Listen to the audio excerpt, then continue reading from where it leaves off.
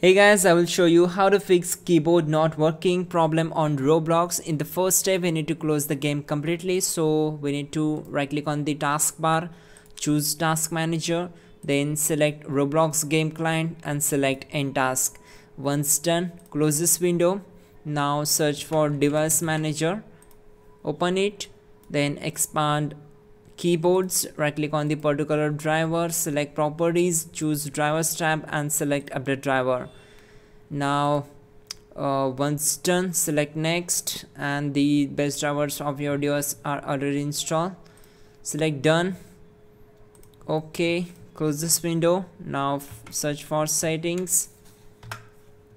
Go down to ease of access. Go down to keyboards and turn off all these options. Use sticky keys and use toggle keys and you use filter keys. Just turn them off. Once done close this window. Now find out cmd right click on it and select run as administrator. Now type here dism.exe space slash online space slash cleanup image. Space slash restore health.